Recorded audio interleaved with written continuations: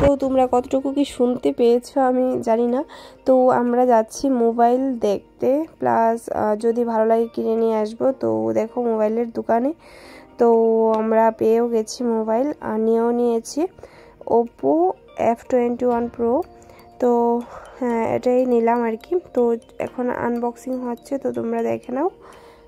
I am very very very happy তো অনেক দিন বাদে একটা নিউ মোবাইল মানে আগের মোবাইলটা দিয়ে অনেক কষ্ট করে চালিয়েছি।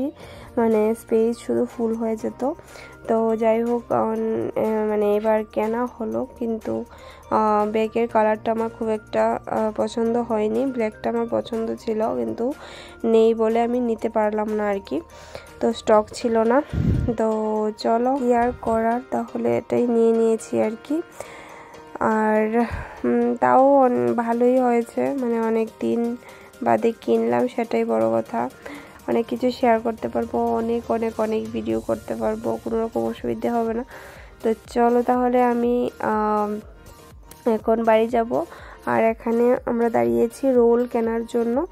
যেহেতু বর আরে আজকে ভাই আর যিশুকে বলেছে আমাদের বাড়িতে আসতে, কারণ আমার যা কিছু আছে সব কিছু ট্রান্সফার করতে হবে।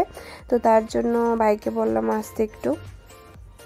তো তার জন্য আর কি এখান থেকে এগ রোলটা নিয়ে নিলাম। তো চলো এখন বাড়িতে যাওয়া যাক, গিয়ে যাই করার করব।